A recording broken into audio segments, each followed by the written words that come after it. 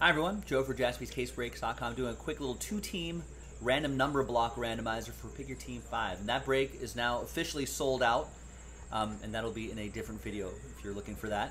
Here's how the number blocks work. I think most everyone here understands how that works. Thank you. There are the numbers here. Let's do it. Let's roll it. Let's randomize each list three and a three, six the hard way.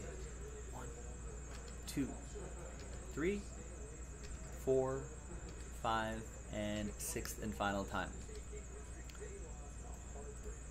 Mark down to Gretchen. And then six times for the numbers. One, two, three, four, five, and sixth and final time. Got eight down to three.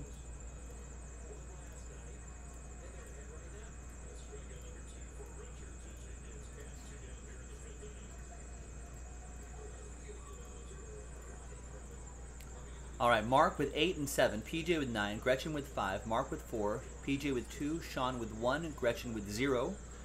Zero gets any and all redemptions for Charlotte in Sacramento. PJ with six, and Gretchen with three, including one of one redemptions. Sean, you'll still get live one of ones that are pulled. All right, let's sort by column B. And again, in a different video will be the break itself. We'll see you for that. JaspysCaseBreaks.com.